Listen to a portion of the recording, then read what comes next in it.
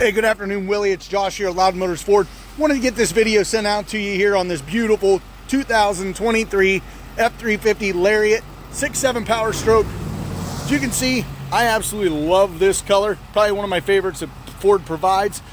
You do have your side step here, making it easier to get into the bed. Also coming around the back side, same thing. Got a step here. Looking at the uh, receiver, got three inch receiver. Obviously you need a two inch sleeve to put in there for most cases. Does have a four pin and seven pin trailer plug. Um, here's where you drop the, the extra spare. Backup camera, rear backup sensors, power sliding window. Does also have the pop out step, um, rear bed lights as well. Going around this side, Again, beautiful truck. Does have lane keeping, uh, lane sensing, adaptive cruise. Let's take a look inside. Once we get inside here, you can see it does actually have plenty of space for your rear occupants. Um, if you need additional space to put stuff in here so it doesn't get wet from the bed, if you don't have a tonneau cover, just fold these seats up. Plenty of room. Both driver and passenger have the convenience of power seats, heated seats, um, cooled seats. Also, the driver has a heated steering wheel.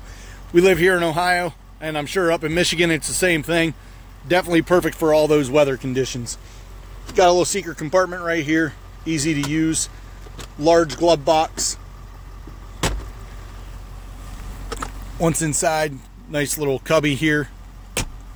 This also folds up, giving you room for a uh, sixth passenger.